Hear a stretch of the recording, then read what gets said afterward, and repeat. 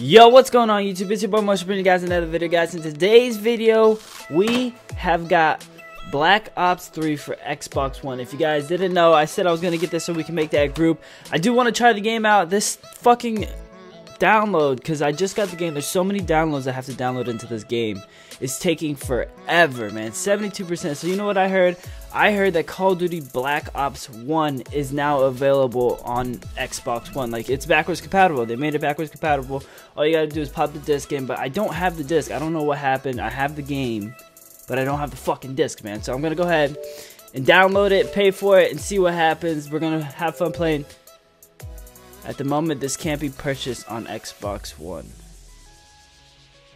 I thought fucking, I thought you could buy it on Xbox. What the hell? So I gotta go to GameStop just to rebuy the game? Gotta be fucking kidding me, dude. Alright, you know what? This shit's not ready. Fucking Black Ops 1's taking forever.